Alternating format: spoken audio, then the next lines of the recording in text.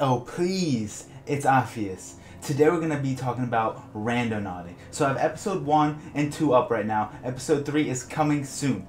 Randonauting is a new way to break out of your normal day patterns, to break out of the matrix. What this is, it's an app and it's called Randonautica.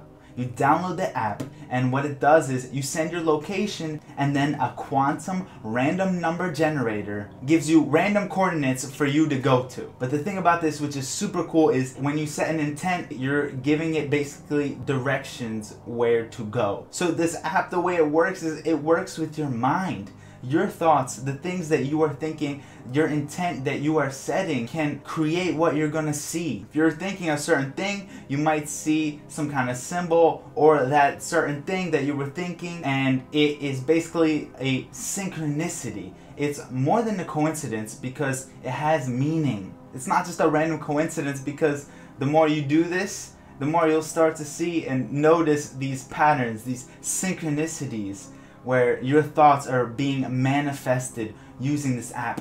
Everything in this life is all created from energy. Your thoughts are energy. So, whatever you're setting your intent, this quantum computer number generator is picking up on your thoughts and it gives you a random location to go to. You go there, you check it out, and you might start to see something very interesting. And many times it'll be taking you to places that might be around your house or around places you normally travel, but they take you to a place that you might have never gone. It might be near where you've traveled before, but a place you've never gone before because you've had no you've had no reason to go there. So so how how the app is working is basically laying out a a map of quantum points and you'll get a choice between setting an attractor point, a void or an anomaly. An attractor point is basically where it is the most condensed quantum points are.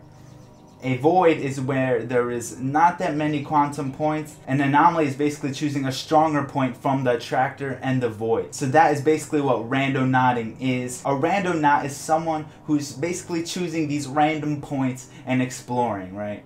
Go out there, have fun, be safe, be careful. Peace, oh please. Keep your mind at ease. It's Opvious.